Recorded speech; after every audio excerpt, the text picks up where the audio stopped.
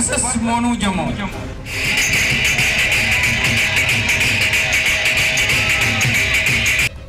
बीते कल सुंब में महावीर केसरी दंगल बड़े ही धूमधाम से संपन्न हुआ। इस दंगल में तकरीबन सत्तर कुश्तियाँ लड़ी गईं और मौके की सबसे बड़ी उपलब्धि इसमें हरियाणा की लड़कियों द्वारा भाग लेना रहा।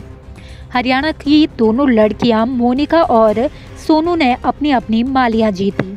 दंगल में खासकर लोकल पहलवानों का दबदबा रहा और दंगल आयोजकों की भी यही कोशिश थी कि लोकल टैलेंट को उभारा जाए, जिससे कि वो आने वाले समय में अपना और अपने गाँव का नाम रोशन कर सके। इस दंगल में मुख्य अतिथि के रूप में यूथ फॉर सोसाइटी के चेयरमैन राहुल संबयाल जी रहे, जिन्होंने इक्कीस हज़ार आयोजकों को दिए। मौके पर बोलते हुए यूथ फॉर सोसाइटी के चेयरमैन राहुल संबयाल ने कहा कि युवाओं के अंदर दबी हुई क्षमता को उनके अंदर छुपे हुए टैलेंट को उभारना ही उनका लक्ष्य है। और इस दिशा में किया गया कोई भी प्रयास को वह पूरा समर्थन देंगे।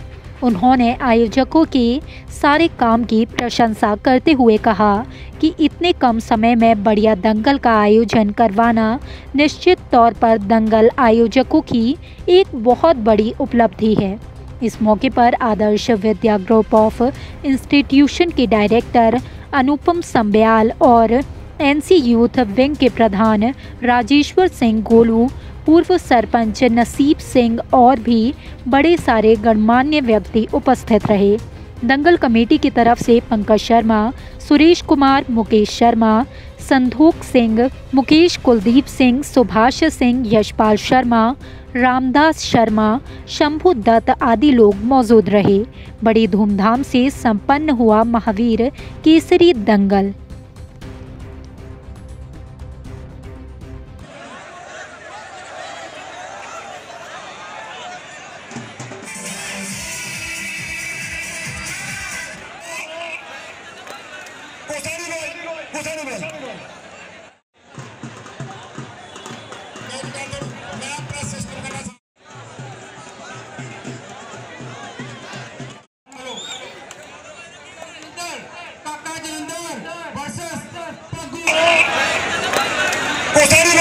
Gozano, देखो देखिए, युवाओं को हमारा ये संदेश है, जैसे कि आपने यहाँ पर देखा होगा, यहाँ जितने भी पहलवान लड़े हैं, उनमें से 90 परसेंट वो लोकल थे।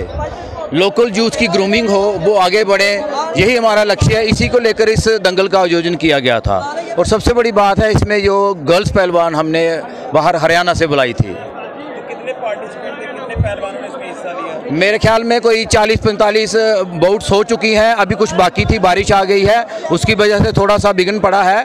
बाकी बहुत अच्छा आपने जैसा आपने देखा वो बहुत अच्छा चल रहा था। फिटनेस को लेकर हम बात करते हैं तो इससे बढ़िया ज़रिया जो नहीं हो सकता। है युवा जो वो ड्रग्स की तरफ़ जा रहे हैं। हाँ जी। जैसे कि आपने देखा कि फिटनेस कैसे पड़ा और क्या सबूत होगा कि दोनों जो फीमेल पहलवान हैं उन्होंने मेल पहलवान को हरा दिया। और जब इंसान कुश्ती लड़ता है जैसा आप पहलवानों का शरीर देख रहे हो उसमें खुद ब खुद एक जज्बा आता है कि वो नशे के खिलाफ खुद ब खुद हो जाता है। तो क्या संदेश आपका रहेगा तमाम युवाओं से? मेरा तमाम युवाओं से यही संदेश है कि नशे को छोड़कर अपने शरीर को मानसिक तौर पर अपने आप को स्वस्थ बनाएँ और एक देश का जो फ्यूचर है उसको सुरक्षित करें। क्या इस तरह के आयोजन आगे भी होते रहेंगे? बिल्कुल। जैसा कि मैं आपके माध्यम से ये संदेश देना चाहता हूँ तमाम पब्लिक को कि हम कोशिश करेंगे कि ये दंगल और बेहतर बनता जाए और अगले साल इसमें और अच्छा आपको देखने को मिले।